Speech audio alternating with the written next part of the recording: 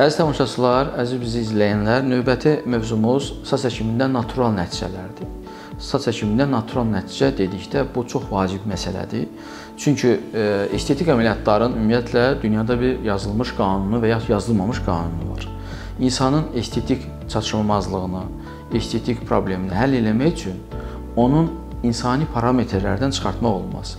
Yəni insanın görkəmini dəyişib başqa insan formasına və yaxud da ki, e, qeyri-estetik formaya salmaq qətiyyən qadağandır.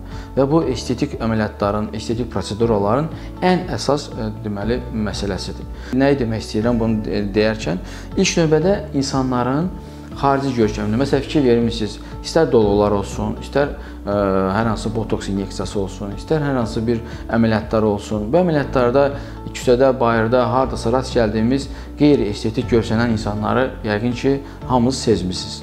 Məsələ bundadır ki, saç həkimində də bu ə, e, deməli qanunlara uymaq lazım olur. Saç həkimində, saç nəqlində daha doğrusu əsas məsələ ə, e, estetik görkəmin bərpa olmasıdır. Nə demək istəyirəm?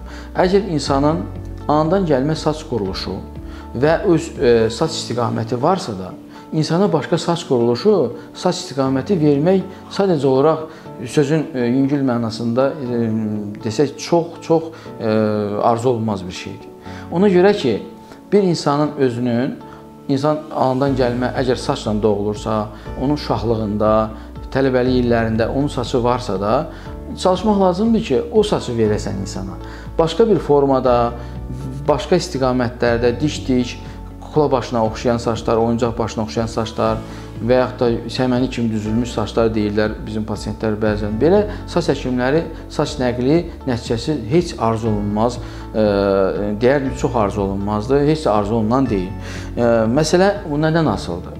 Saç həkimində bilirsiniz ki, istiqamət əsas məsələdir və saçın özünün anadan gəlmə yönü olur. Hər bir insan o yönlə doğulur. Fikir vermişsə də dik saçları olan insanlar çalışır həmişə saçlarını arxaya darasın. Məsələn, bizim Azərbaycanda ən çox saçı soldan sağa darama daha çox meyllidir, tağ ayırma daha çox meyllidir. Və hər bir millətin, hər bir kontingentin özünün saç istiqaməti, saç quruluşu, saç dəbi var. Bizim Azərbaycanda da bundan kənara çıxanda adi məsələdir ki, eybəcərlik nəzərə çarpır və bu eybəcərlik gətirib buna çıxardır ki, insanın psixoloji durumu daha da pisləşir.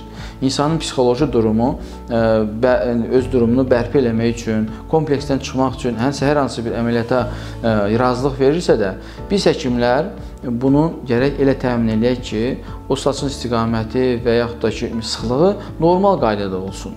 Ona görə də saç həkimində əsas məsələ e, istiqamət və yön və eyni zamanda paylama, yəni qreftlərin paylanma məsələsidir. Bu da çox vacib məsələdir. Burada da incə nüanslar var ki, hansı ki veriliş boyu bunu demək e, desəm də siz onu anlamaz e, formada olarsınız. Ona görə ki, bu artıq tibbi yönlü deməli məsələlərdir.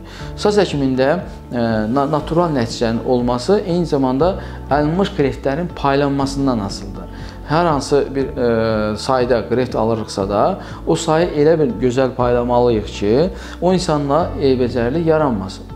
Və bəzi suallar olur, çox tökülmüş saçları çox tökülmüş insanlar ki, bir seansa bunu mümkündürmü eləmək? Məsələn, arxa nahiyədə o abra, o oya bənzər zonada və ön tərəfdə bir e, saç həkiminin seansında hər iki tərəfi doldurma arzusunda olan insanlar olur. Bəli, əslində qalsa çox gözəl bir e, istəkdir. Ancaq saç tökülməsi o qədər geniş bir e, sahəni tutur ki, arxada olan bazalar bəs eləmir ki, sən bütün zonanı bağlayasan. Əgər almış qrefti sən bölsən hər iki yerə, onda da seyrək olar. Ona görə də saç həkimində natural nəticənin əsas e, deməli məsələsi e, həkimin ala bildiyi qreft sayı, düzgün və dürüst qreft sayı. Bu da çox vacib məsələdir. Mən həmişə çıxışlarımda deyirəm ki, pasiyentin özünün almış qreftin sayından xəbəri olmalıdır, özü dürüst formada. Bu çox vacibdir. Alıcı nəticələr, alıcı saylar deyərək pasiyentləri allanmasına və yaxud da ümumiyyətlə e, ümidlərini e, puça çıxartmaq da çox böyük tibbi cəhətdən desək ki, arzu olunmaz və vicdansızlıqdır. Ona görə də mən sizə ümumiyyətlə insanlarımıza saç həkimi mərkəzləri seçəndə demirik, məsələn bizə gəlin, biz eləyik.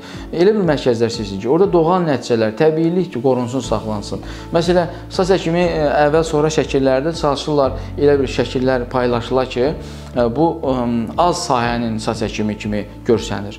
Total nahiyəni paylaşma çox az olur. O da alıcı təsir göstərir deyə çalışmaq lazımdır ki, pasiyentin üst hissəsinin şəkli də görsənsin ki, o hissələrdə saçın olub-olmamağını pasiyent bilsin. Sıxlıq məsələsi isə qaldıqda isə məsələn tökülmə sahəsi nə qədər çoxdursa, mümkün deyil məsələ həmin nahiyə o qədər sıx saç əkəsiz. Ona görə də alıcı reklamlar bəzi hallarda 6000, 8000 qrefdən danışırlar ki, və bu bir seansa bilirsiniz ki, hər bir insanda o qədər qref çıxmaz. Yəni o da əsas məsələdir və nəticənin qeyri-doğal olması da alınmış qreflərin düzgün paylanmamasına görə olur. Məhz ona görə də saç həkimində, saç nəqlində cizginin düzgün çəkilməsi ön xəttin düzgün çəkilməsi, saçların düzgün paylanması, hətta saçın rənglərinin belə düzgün paylanması, saç hansı nahiyədən alınıb, o nahiyənin uyğun olan yerə, proporsional yerə ə, ə, nəql olunması bu əsas vacib məsələlərdən biridir. А Hakim dermatovенеролог, косметолог доктор Рамиль Гожаев.